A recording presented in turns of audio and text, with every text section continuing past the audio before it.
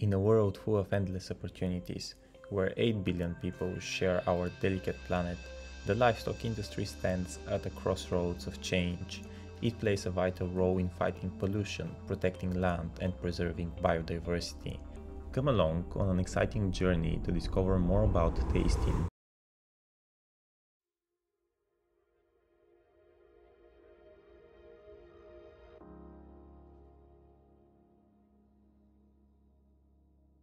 The TastIn Project explores the tastes of the insects, like crickets, as a part of our broader initiative of insect acceptance as a food source.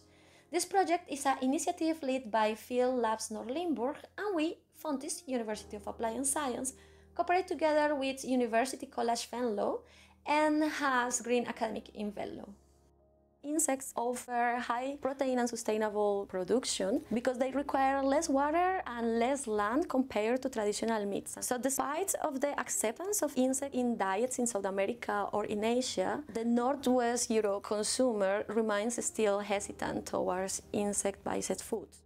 Through focus groups and different experiments and tasting, we study preferences of these insect-based foods involving students and children who are more open to try new foods. And the participants share with us their thoughts and feelings, revealing diverse taste preferences.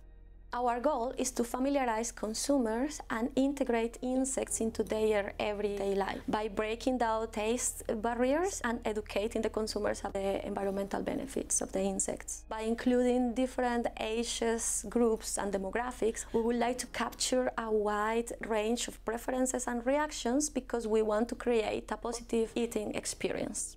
The research findings are expected in July. We will inform about product development and marketing strategies and consumer education in order to bring these results to food manufacturers, policymakers, and in the general public. The insect-based foods have the potential to do a revolution in our food systems because they offer a sustainable alternative to our traditional protein sources and we believe that insects can overcome a key factor to address a global food challenges.